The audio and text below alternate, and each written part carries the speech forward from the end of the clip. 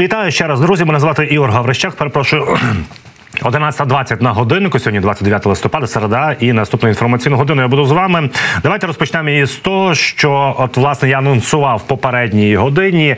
Про критику наших партнерів, конструктивну критику, якою е, цього разу е, своє слово сказав Бен Ходжес, це колишній командувач сухопутніх військ Сполучених Штатів Америки у Європі. Він завжди. Е, був вірним другом і є вірним другом і е, соратником України, і він завжди е, намагається максимально і в інформаційному полі е, підтримувати Україну і розповідати, що потрібно Україні для перемоги. Так, от що каже Бен Ходжес, що Сполучені Штати Америки досі не змогли повністю гарантувати перемогу України в війні проти Росії, а допомога надана Вашингтоном достатня тільки для того, щоб утримати Україну в цій боротьбі. Так от власне вважає американський генерал у відставці Бен Ходжес, колишній командувач армією Сполучених Штатів Америки в Європі. Уряд США постійно підкреслює, що буде підтримувати Україну до тих пір, поки е, війна не буде виграна для України. Перемога означає повернення всієї її міжнародної визнаної території, притягнення військових злочинів до відповідальності та отримання репарацій. Однак, Сполучені Штати Америки досі відмовляються остаточно окреслити, що це може означати з їхньої точки зору, зазначає генерал Ходжес. Наша готовність присвятити себе тому, щоб Україна дійсно перемогла, є ключовим моментом, і досі ми цього не зробили. Я пишаюся тим, що надали Сполучені Штати, але цього було достатньо тільки для того, щоб утримати Україну у боротьбі. Цікаво, що за словами Ходжеса в міністерстві оборони Сполучених Штатів Америки були люди, які критикували контрнаступ України, який розглядається як часткова невдача, що призвела до глухого кута у війні. Ми ніколи б не відправили американських солдатів для такої атаки, не досягнувши повної переваги в повітрі, не надавши величезну кількість інженерного обладнання для прориву і так далі. Ну, власне, Ходжет каже про те, що мовляв е, Сполучені Штати Америки, е, ой, в міністерстві оборони США кажуть, що частково можливо контрнаступ не вдали, але вони замовчують наступне, що, що наші збройні сили України розпочинали наступальні дії без підтримки авіації і без переваги загалом в артилерії і в танках. Так от також Ходжес пояснив і розповів, що перемовин з Росією бути апріорі не може. Хто в світі думає, що можна укласти мирну угоду з президентом Володимиром Путіном при владі, і, по-перше, очікувати, що вони її будуть дотримуватися, і по-друге, що життя для когось стане кращим. Ну, от, власне, жодних перемовин з Путіним, і також Бен Ходжес каже наступне: що потрібно заходити в тимчасово окупований півострів Крим. Вже не вперше Бен Ходжес, генерал каже наступне, що власне хто контролюватиме півострів, той і переможе в цій війні. А очевидно, Сполучені Штати Америки е, раніше заявляв Ходжес, що вони жодного разу не заявили, що ми будемо з Україною до перемоги. Вони завжди кажуть, що ми будемо з Україною допоки буде потрібно до кінця, але не до перемоги. І це ключові відмінності. Що ж, давайте про це та інше говорити з нашим наступним спікером. Це є Микола Маломуж, генерал армії, екс-керівник служби зовнішньої розвідки України. Пане Миколо, вітаю! Слава Україні! Вітаю героям слава. От ви напевне чули висловлювання Бена Ходжеса. Як ви вважаєте, пане Миколо, чому от е, зволікають наші партнери з наданням Усього необхідного нам озброєння вже давно ми ще влітку могли це зробити. І власне було прописано в статті Економіст, що ми чотири рази могли зайти в Крим назад і вернутися. Але от чому зволікають Сполучені Штати? Що їх стримує?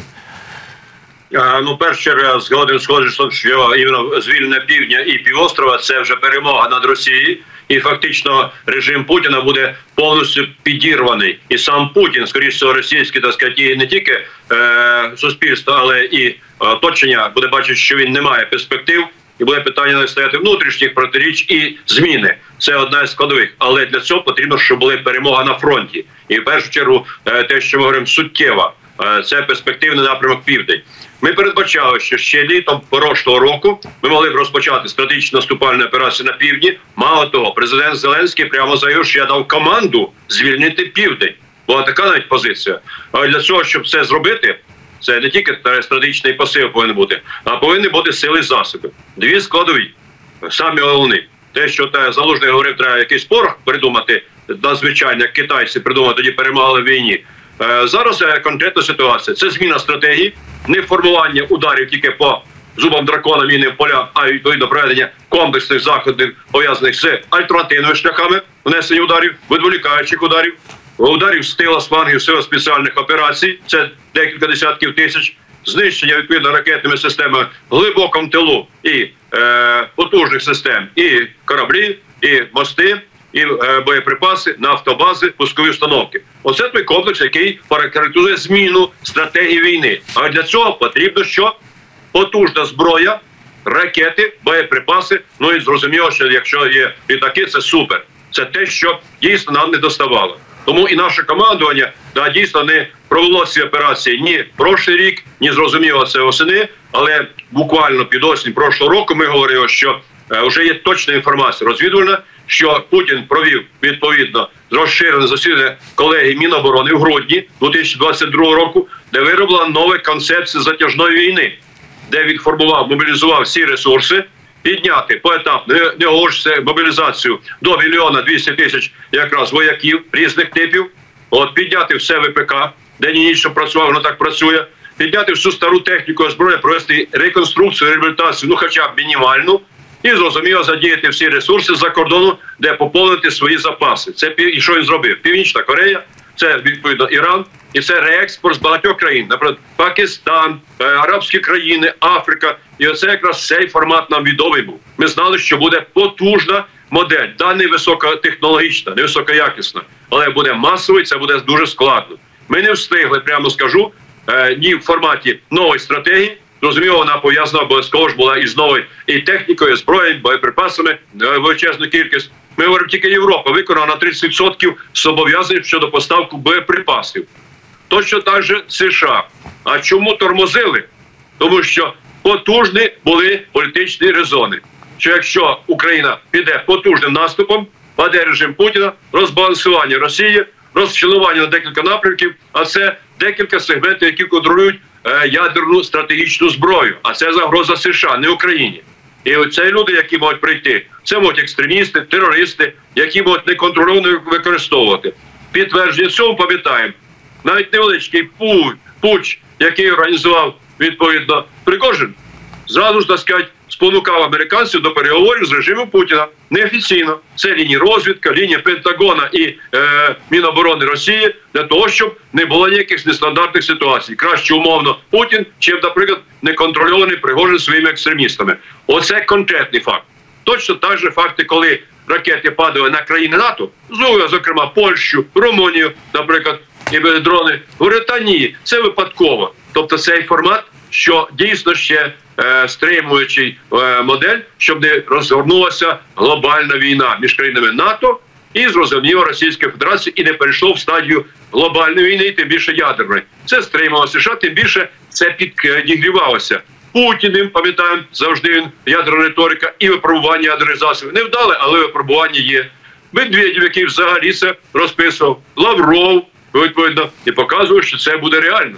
А це на американців діє. Мало того, що по лінії розвідок, а це більш ефективне, чим це всі ці е, заяви.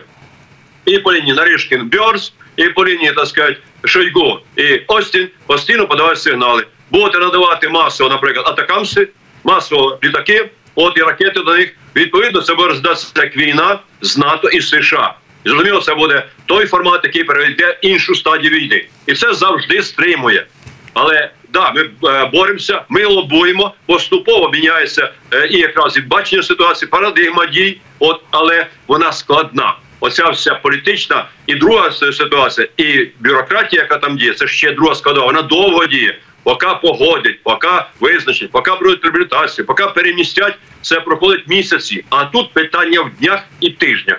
І третя складова це політична ситуація виборчого періоду в США в інших країнах.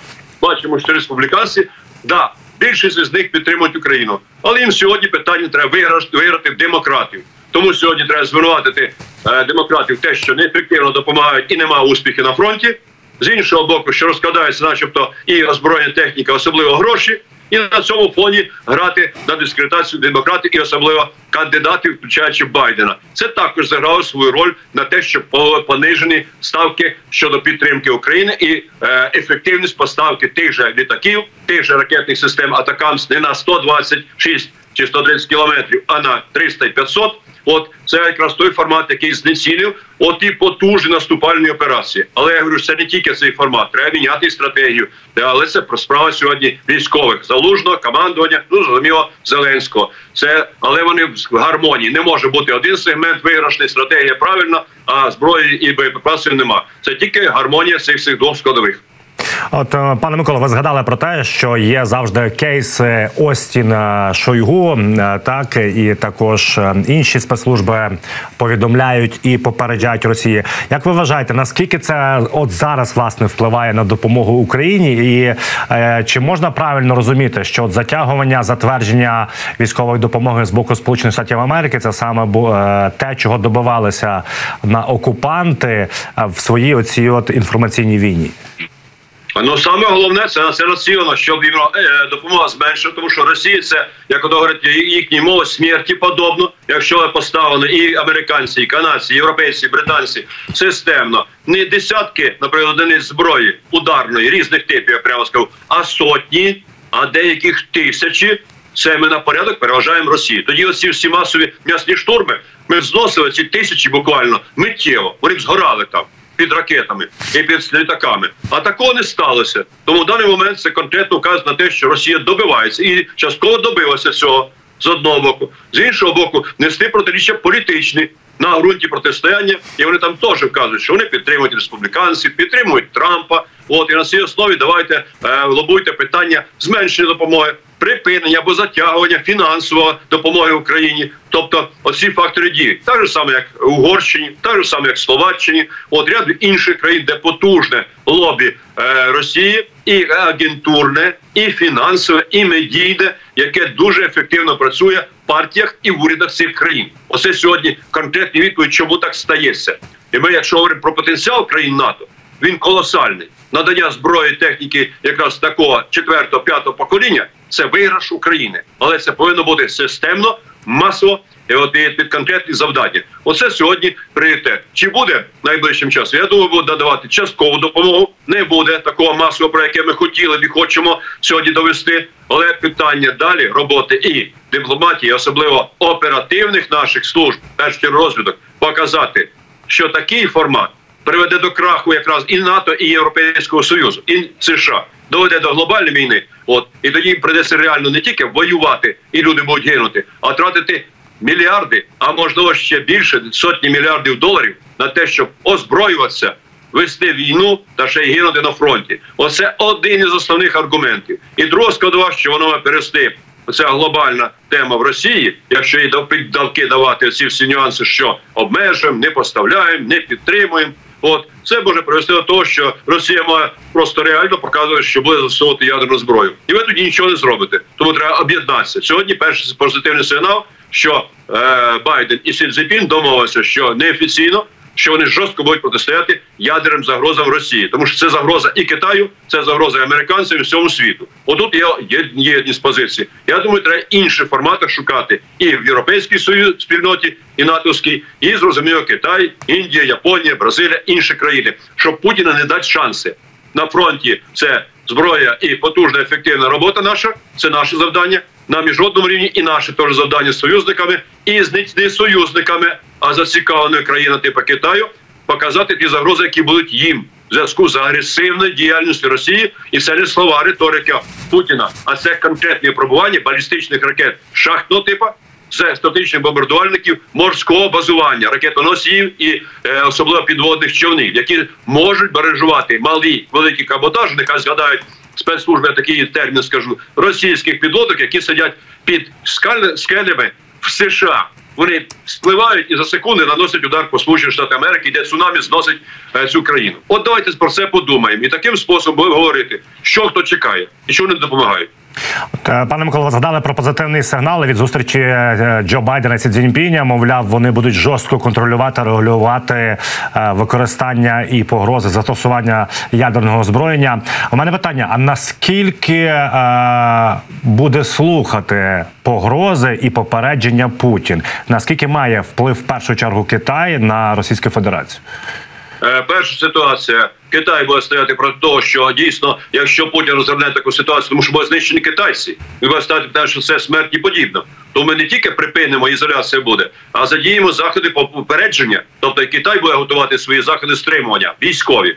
А більш конкретно, чітко, що вже повідомлено по цим каналам, про які я говорив, розвідки Пентагону, у випадку розгортання для пусків, а це все фіксується в режимі онлайн, любий засіб ядерний сьогодні.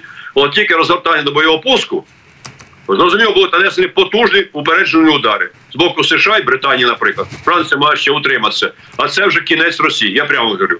По потенціалу це кінець Росії. Але і Росія має застосовувати ці засоби, наскільки вони будуть збиті, хоча вони старіші більше на 80% це 70-80-х років. Як вони спрацюють, невідомо. Може в самій Росії впаде. Оце ще одна проблема. Але саме головне загроза США, Європі, Британії, Китаю це один із самих основних чинників, чому вони будуть проти і готувати ці удари. Тому що якщо вони пройдуть, то ці удари будуть нанесені по них. Тому треба упереджувати або збивати. І зрозуміло, це новий сценарій, де не виживе ні Путін, ні його оточення, ніхто. А багато з оточення Путіна хоче жити, та й сам Путін. Пане Миколо, е, ви як керівник зовнішньої розвідки України, скажіть, будь ласка, і знаєте цю справу дуже добре. От отруєння сім'ї Буданова Е, офіційно представники головного управління розвідки в особі Юсова кажуть, що так, факт був, але вчасно е, його попередили. Відповідно, е, загрози життю немає. От в мене питання: скажіть, будь ласка, наскільки потужна агентурна сітка Російської Федерації, і наскільки її вдалося зачистити після вели... початку великої війни 24 лютого 22 року? Ну, перше по цьому факту, тут треба ще розібратися, які це спецслужби і що вони проводили. Росія зрозуміла, є основна версія, правильно. Але те, що вперед раз вже є, отруєння, це не упередження. Це я прямо скажу професійно. Тому треба діяти більш ефективно в плані упереджень захисту керівників спецслужби, включаючи головного управління розвідки Буданова і його дружини. Оце конкретний факт. Розслідування покаже звідки хто це проводив. А друга складова. Е, Ми да, дійсно очистили багато і спецслужби, і політичний сектор, і урядовий, і регіональний від агентури. Пам'ятаємо навіть е, на рівні радників голови СБУ, шпигуни, керівники відповідно главків, також начальники регіональних управлінь. Оце конкретно те, що не виявив свій час. От точно так же в урядових структурах, оборонних структурах, які діяли і діють до цього часу частково. От але тепер більш е, така прикрита форма. Тому в даний момент можна не тільки активно е, чекати росіян і сприяти цьому, як робили деякі з них, але пасивно не виконувати завдання, не сприяти оборонному сектору, не сприяти військовослужбовцям, створити конфлікти між політичним керівництвом і військовим керівництвом, що сьогодні десь прос, е, проходить різними каналами. І заперечує, та в нас нема проблем. Так якби нема проблем, то нічого б не було в інформаційному секторі України розкручено, які використали ситуацію цю росіяни, і зрозуміло недовіра в деякій мірі зароджується наших партнерів. Це не так. От фейки, все не бува так.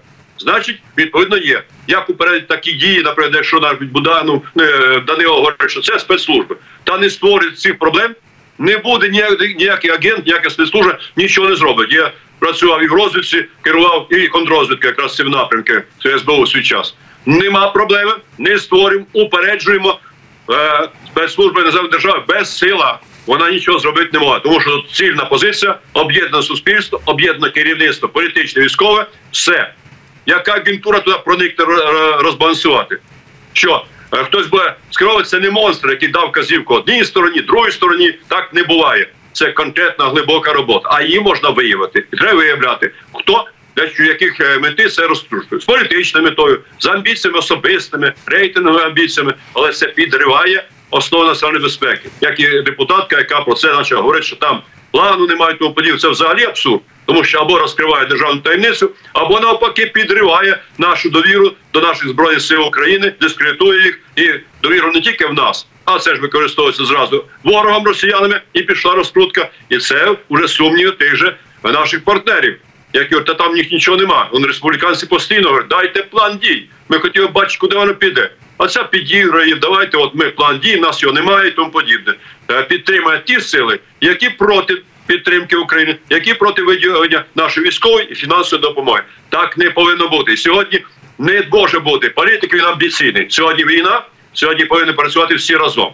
Єдиним фронтом, але злажено і саме головне професійно. Оце основна ситуація. Тому професіоналів, я говорю, стрій в різні періоди і в урядовій структурі, адміністрації президента, кабінет міністрів, в силові структури і в розвитку в інші напрямки. Оце той формат, який сьогодні спасе Україну.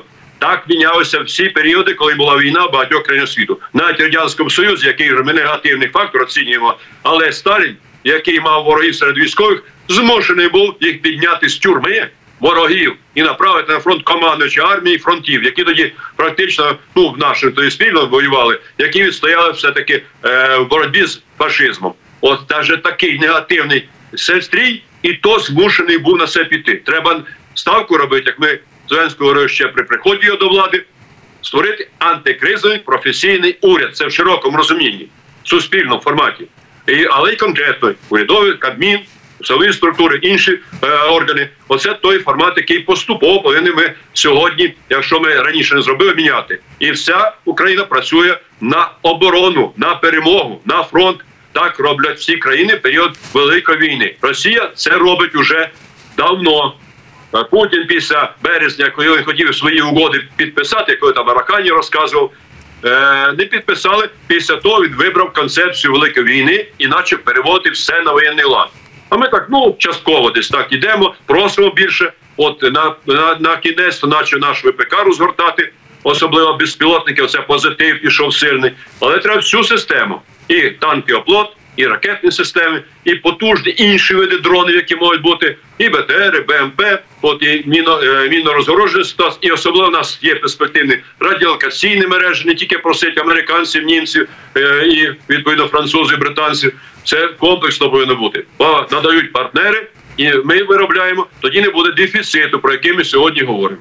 Ну та пане Микола, але ми прекрасно розуміємо, що е, порівнювати е, і можливості, і е, розвиток військово-промислового комплексу Росії і України не можна, тому що б'ють нашу територію, постійно обстрілюють нашу територію, і це в рази важче робити. І ми розуміємо, саме тому наші військові їздять за кордон навчатися, тому що це небезпечно робити в Україні. Асиметричні заходи, я прямо скажу. Ми використовуємо новітнє озброєння на порядок вище, ніж в Росії іноземного виробництва, і точно наш ВПК за рахунок того, що ми маємо можливість отримати технології з е, наших партнерів, теж і перемагають тепер уже не м'ясними штурмами, а високими технологіями Власне. і підготовкою за кордоном. Те, що ви кажете. Пане Микола, дякую вам за цю розмову. Е, Дякую, що роз'яснили ситуацію. З нами був Микола Маломуш, е, генерал армії, екс-співробітник служби зовнішньої розвідки. України, що ж рухаємось далі, і до теми е, Північно-Атлантичного альянсу хотів би завершити свою думкою, про яку я розповідав перед по початком розмови з е, Миколою Маломужем. Так я згадував е, слова Бена Ходжіса. Ну от колишній посол Сполучених Штатів при НАТО і екс-представник Сполучених Штатів по Україні Курт Волкер під час конференції у Європарламенті. Прокоментував процес вступу України в Північно-Атлантичний альянс і зробив дуже хороші е, акценти. Давайте послухаємо. Переконаний, що політика НАТО сьогодні ненавмисно надсилає сигнал для Путіна продовжувати бойові дії. Бо ми говоримо, що Україна стане членом у тривалій перспективі, але ми не можемо привести її в НАТО, поки триває ця війна. Це є стимулом для Путіна продовжувати війну. Я дійсно думаю, що прийшов час для нас зробити прямо протилежне послання, що Україна стане членом НАТО якнайшвидше. Це означатиме, що не залишиться жодного шляху для програшу України. Тоді для Путіна продовження цієї війни буде безцільним, а для Росії руйнівним. Ну, власне, яскрава е, позиція і пояснення, що для Росії е, НАТО і наші союзники Північно-Атлантичний альянс не повинен цього боятися. Ми прекрасно розуміємо, що є п'ята стаття статуту НАТО, яка зобов'язує інших членів е, ну, простою мовою заступитися за ту країну, на яку нападає агресор. Відповідно, ми розуміємо, що такі кроки повинні, і це унеможливить амбіції диктатора, бажання диктатора далі вести е, геноцид українського народу і війну на нашій території. Ну що ж, така бажана очікувана авіація, і нарешті офіційно ми побачили і нам показали саме е, ті F-16, на яких навчаються наші пілоти, тому що нам прилетіли хороші новини із Аризони. Сенатор ці- цього штату Марк Келлі е, вирішив показати літаки, де проходять курс навчання українські пілоти. На своїй сторінці у соцмережі сенатор Аризони виклав кілька кадрів з авіабази Національної гвардії Моріс. Також він опублікував пост, заявивши, що на цих винищувачах українці навчаються використовувати авіацію у боротьбі з незаконним вторгненням Путіна до е, нашої країни. Хто ж такий е, Марк Келлі? Після вторгнення армії е, Росії в Україну він неодноразово відвідував Київ. Ось ви бачите на своїх кадрах. Останній його візит відбувся у вересні цього року. Він хотів особисто переконатися, що американська військова допомога. Допомагає збройним силам України вибивати зі своєї землі ворожу армію. До цього Келлі був у Києві у квітні 23-го року. Бачимо, є в нас віддані наші прихильники за кордоном, з якими е, ми співпрацюємо. Ну і знову ж таки е, дуже добре, що ця авіація, і то ви бачили на фотографії, так F-16 з двома. Власними кабінами, тому що в свої бойовій е, е, в бойовому використанні F-16 для одного пілота. А це навчальна машина, тобто там сидить інструктор Сполучених Штатів Америки, відповідно наш пілот і. Е, Так проходить процес навчання. Ну і знову ж таки відгуки і оцінювання е, навчання наших е, пілотів в Сполучених Штатах Америки дуже і дуже позитивні. Загалом офіцерський склад в Сполучених Штатах Америки приємно шокований, наскільки завзято, швидко і вправно наші хлопці та дівчата освоюють використання авіації.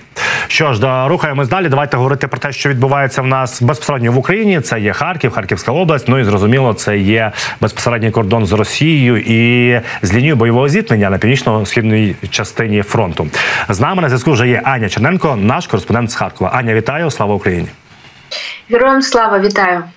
Аню, е, розповідай, будь ласка, що в Харкові області відбувається за останню добу, тому що ми знаємо зовсім е, недалеко від Харкова, так є лінія бойового зіткнення, де росіяни знову ж таки за повідомленням генштабу збройних сил України активізовуються і намагаються наступати. Правда, у нас от на Куп'янському напрямку, е, навіть попри таку негоду, яка в Харкові зараз дуже сильно вирує, е, були спроби наступу на Куп'янщині. Мінімум п'ять атак завчора відбили наші е, збройні сили і. Окрім того, хочу сказати, що селам Куп'янщини дуже вчора діставалося Подоли і Курилівка. Вони були під ударами керованими авіабомбами. Дуже багато приватних будиночків там розбито. В Подолах два два розбиті вщент і пошкоджений заклад освіти. У Курилівці три пошкоджені і один розбитий. Повторюся, по цьому невеличкому селищу в чергове б'ють кабами. Окрім того, у нас Вовчанськ вчора перебував під е, кількома атаками росіян. Десь близько 18-ї завдали масованого удару е, артилерією і пошкодило. От ви бачите фото. Пошкодило за даними ДСНС центральну частину саме містечка цього. Побито два дві будівлі супермаркета. Оця пожежа вона сталася на території приватних гаражів. 10 з них вигоріло. Дуже складна була пожежа. Її наші рятувальники ліквідовували десь з 18 години до майже 9 вечора. І коли вогонь вдалося локалізувати, вони змушені були їхати з з цієї локації, з цієї території. Чому? Тому що повторні удари росіяни почали завдавати по Вовчанську і на цей раз вже били по приватним будинкам.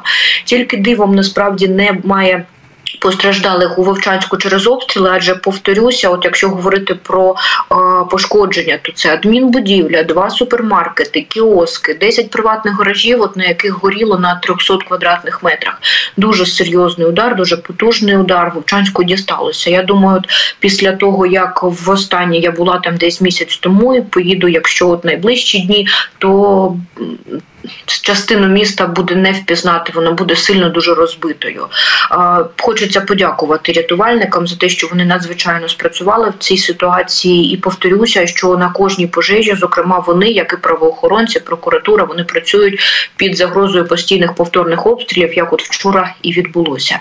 Але, от незважаючи на таку оперативну ситуацію, я хочу сьогодні розказати вам про Харків, про один із е, проявів його життя, про в чомусь незламність, а саме про артистів Харківського театру, національного театру оперу опери і балети імені Лисенка. Звісно, театр не працює через загрози обстрілів, через безпекову ситуацію. Глядачів не можна збирати. Велика зала, вона. Ну, напевно, з першого дня повномасштабного вторгнення закрита. А це глядацька зала на більше ніж тисячу місць. Дуже хочеться вірити, що м, якнайшвидше да, вдасться відкрити. Безпекова ситуація дозволить це, але поки артисти, частина команди, яка лишається працювати в Харкові, вона зробила самотужки для себе сцену для репетиції. Це таке красива, як на мене, лофт-сцена. Ми були присутні на останніх таких моментах монтажу сцени. Це велика зала. Ми зараз бачимо, яка як- яка на жаль поки порожня і закрита. Але от репети... сцену для репетиції собі артисти зробили самотужки. От бачите, як вони закінчували її монтувати. Вона знаходиться в укритті дуже глибоко під землею. Сама будівля от Харківського театру опери і балету, вона в чомусь унікальна, і вдалося розібрати такі. Три приміщення, щоб е, зробити собі локацію для репетицій. Ви зараз бачите першу е, репетицію, яка проходила без глядачів. Всі ті люди, які ви зараз там бачите, це працівники театру, і для них це було, ви знаєте, справжнісіньке свято, тому що е, відчути оце цей мистецький порив, оце єднання за з часу. Першого дня повномасштабного вторгнення просто не вдавалося. А так е, і артисти, і працівники сцени вони відчули так, таке правда єднання. По-іншому і не скажеш. Дуже красива репетиція. Дуже жалкуємо, що а, оцей безпековий простір поки немає дозволу. А я думаю, що керівництво театру буде звертатися з проханням проводити якісь, хоча б там невеликі концерти. Хоча чи дозволять чи ні, я не можу сказати, бо дійсно безпекова ситуація складна і а, навіть укриттях. Е, Прибувати, да, якщо б'є ракета, це, це, це, це доволі велике питання, чи варто збирати е, якусь масу людей в одному місці. Але артисти не можуть без репетицій, не можуть без виступів. Вони знаходять в Харкові інші майданчики для виступів, поки от театр о, імені Лисенка він стоїть закритим. А, хочу просто показати от емоції артистів, як артистів, які виступили на цій на цьому репетиційному концерту керівника. Ну і власне елемент того, як виглядає сцена, яку зібрали разом колектив театру, щоб мати змогу а, не, не, не зупиняти, скажімо так, свою роботу, не зупиняти мистецтво. Давайте подивимося. Сумнозвісні ракети СС-300, які дуже, дуже, дуже часто бомбардують агресори наше місто. Вони долетають до міста від точки старту за 45 секунд. Це кулуар театру, який був побудований і спроєктований для е, змоги розгрузки та загрузки декорацій. От, якщо у нас проводиться е, заходи на великій сцені, ми маємо тут два вантажних е, ліфти, які обладнання підіймають на саму сцену. Ну а знаходимося ми тут тому, що через постійні повітряні тривоги, які лунають в нашому місті. Е, Дуже складно зараз організувати репетиційний процес, тому що потрібно постійно е, артистам е, переміщуватись у безпечне місце. І тоді у керівництва театру виникла ідея розташувати у безпечному місці, де ми зараз знаходимося, сцену для можливості проведення репетиційного процесу, тому що репетиції для наших артистів це найголовніше.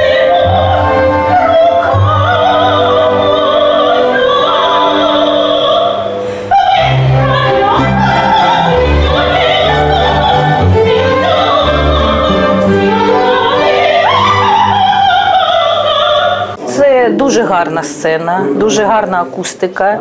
е, Співати дуже зручно. Е, Голос летить до людей. І хай летить багато разів. Ця скульптура знаходилась також е, тут е, в кулуарі. Ось е, за якимось дивним збігом обставин його не змонтували на центральних сходах. Ось чомусь тодішнім архітекторам не сподобалось його розміщення, і його сюди при будівництві як спустили, так він тут більше 30 років і знаходився. Так, ну ми вирішили, що це наш е, талісман. І власне, от скульптуру Миколи Лисенка вже планують, якщо вдасться, да. Проводити концерти у цій в лофт-сцені в укритті, то вона буде таким е, місцем для фотографій, яким яким символом і оберегом, скажімо так, театралів. А, вже коли е, буде нормальна безпекова ситуація, то і планують цю скульптуру перенести, скажімо так, і зробити новою перлинкою саме е, міста Харкова. Ще хочу сказати, що харківським театралам не звикати виступати. Не те, що в укриттях були виступи в метро, в шпиталях, е, в просто неба. І о, зараз, от в чому важливість цієї репутаційної сцени, що вони, е, по-перше, не звільняться. По-друге, не втратять е, відчуття сцени, відчуття гри і от важливості тієї, тому що дуже не вистачає, звісно, в Харкові великої сцени, і багато прем'єр не відбулося. Але я думаю, за цей час, от в театрали, які зараз є в Харкові, які працюють за межами України, проводять благодійні мистецькі якісь концерти, вони все одно напрацьовують щось, щоб щойно велика сцена буде відкрита, щоб подарувати нам нові нові вистави, нові прем'єри, і вони обов'язково будуть такими потужними і міцними, як були от останні перед 20, ну перед лютом, перед днем повномасштабного вторгнення. Аня, дякую тобі. І головне в першу чергу, знаєш, аби е, ну ми бачимо, що ми не те, що звиклися, ми достойно живемо в таких умовах. Ми не опускаємо ні рук. Е, Ми дякуємо нашим збройним силам України. Але головне це е, піклуватися про свій захист, тому що ми прекрасно розуміємо, що будь-яке скупчення так для окупанта абсолютно немає ніякого значення. Це військові, чи це діти, чи це старші люди. Вони ж займаються геноцидом. Тому в першу чергу треба стежити за те, те, аби це прекрасне себе також і оберігало. Так, правда. Аню, дуже тобі дякую. Нагадаю, з нами була Аня Черненко, наш кореспондент з Харкова. Що на завершення хочу вам розповісти про проблеми е, окупантів на лівому березі, тому що збройні сили України завдали удару по розташуванню російських окупантів в селищі Ювілейне на лівобережжі Херсонської області. Ворожі пабліки е, панікують, що обстріл було здійснено під час проведення наради колаборантів та місцевих так званих правоохоронних органів. Відомо мінімум про п'ять умогилених, демобілізованих, так би мовити, ще три перебувають у черзі. Вони у важкому стані. Також раніше. Про спекотний день перельоту прилетіла звістка з окупованого Скадовська. Потужні були прильоти там. Я вам нагадаю, що це не вперше вже б'ють по Скадовську, тому що 9 листопада саме у Скадовську було влучання в штаб е, росіян. Згодом з'явились кадри розбитої бази окупантів. Величезна кількість двохсотих і трьохсотих була. Переважна більшість особового складу були представниками Федеральної служби безпеки, і е, власне вони і контролюють багато процесів на тимчасово окупованих територіях. Проробляємо метил росіян на лівому березі. Ювілейне, я вам нагадаю, це неподалік від е, траси, яка веде на Армянськ. Армянськ це сухопутний перетин з тимчасово окупованим Кримом. Ну і в Скадовську це пряма траса на Олешки біля Дніпра. І власне там концентрація сил противника. Торуємо, пробиваємо. Е, Нашу землю очищаємо від окупантів.